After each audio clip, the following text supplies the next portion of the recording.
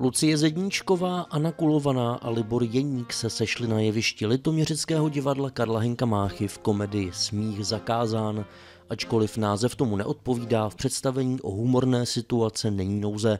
V netradičním milostném trojuhelníku, kdy manželka přesvědčuje milenku, aby se vrátila k manželovi, se kterým se nedá vydržet, se navíc pozná nejeden pár tím, že Libor hraje takovou postavu, která je taková, takového toho lidového chlapa a ty chlapy se v tom jako poznají. Takový ten chodí doma v těch trensláčích s tím pivíštem a prostě na tom gaučíku, jo, pouští si tam prostě ten hokej nebo co to je fotbal. Takový mačo trošku. Takový prostě, jo, jako takový jako. No a ty chlapy se v tom vidějí a vlastně se tomu jako myslím docela smějou, teda, a ženský samozřejmě taky zase ze svého pohledu.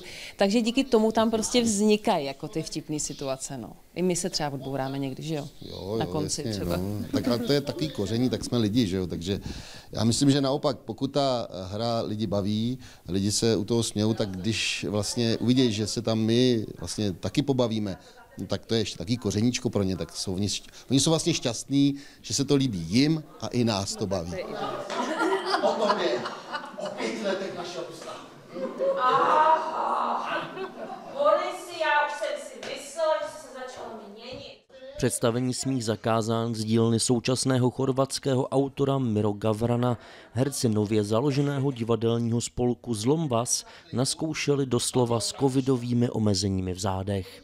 Všichni, všechny divadla se zavíraly a my jsme vlastně založili divadelní spolek a nastudovali jsme tuhle tu hru.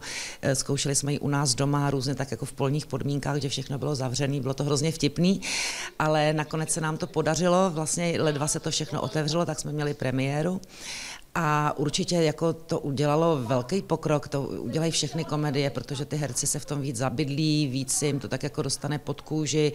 Uh, už vlastně víme částečně, co od diváka můžeme čekat, kdy se směje víc, kdy se směje míň. Prostě už jako jsme v tom zabydlenější, se v tom, jsme v tom víc jako doma, takže ta komedie samozřejmě tím letím směrem má vývoj, ale to tak má asi každý představení. Vždycky ta premiéra je nervóznější a pak se to tak jako hezky v dobrým slova smyslu sedá. Divadlo Karla Henka Máchy bylo opět zaplněno do posledního místa.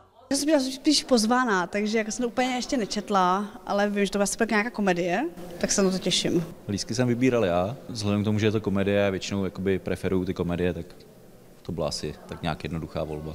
A samozřejmě ono dostat se sem na tyhle v VIP vystoupení není tak jednoduchý.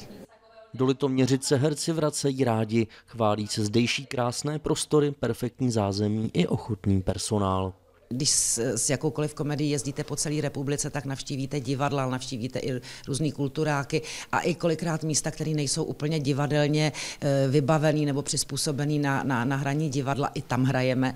Eh, vždycky se to dá, ale samozřejmě divadlo to je taková jako takový, takový zavodměnu, když můžeme hrát jako v klasickém divadle a tady v Litoměřicích je hrozně hezký divadlo, tak se sem rádi vracíme. Všichni, všichni, co tady hrajeme my tři, tak jsme tady už hráli několikrát. My tady docela často hrajeme, že tady s divadlem jsem jako fakt jako jezdím, tak takže ráda. Hráli jsme tady už i večerní, třeba před nad Kukačím hnízdem jsme tady hráli a fakt jako i maršu, jako víc představení i dopoledne jako pro žáky, pro gimpláky.